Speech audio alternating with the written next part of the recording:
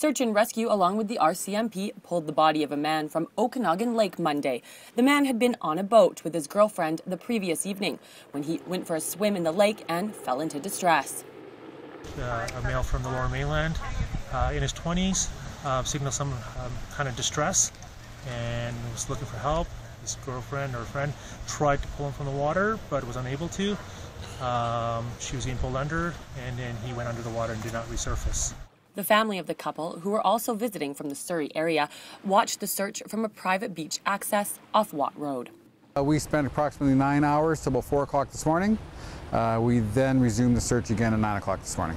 We find between the hours of 11 and 1 when the sun is shooting straight down, we can get a better visible from the air.